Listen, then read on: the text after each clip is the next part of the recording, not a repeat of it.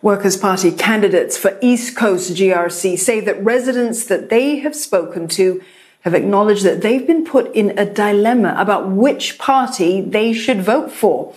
The Workers' Party squad was speaking to media at Bedok Interchange Hawker Centre today. They were asked about voters being put in a position where they have to choose between having an alternative voice in Parliament and the PAP team led by Deputy Prime Minister Heng Swee Keat.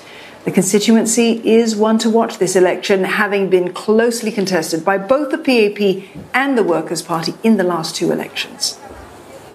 When we talk to the residents itself, the residents are not only concerned about amenities, facilities, cleanliness, estate maintenance. They are put in the dilemma is because they, they are now being put between us and selecting a future PM. Why do they have to be put into these dilemmas? Of course, at the end of the day, whatever the result is, we respect their decision.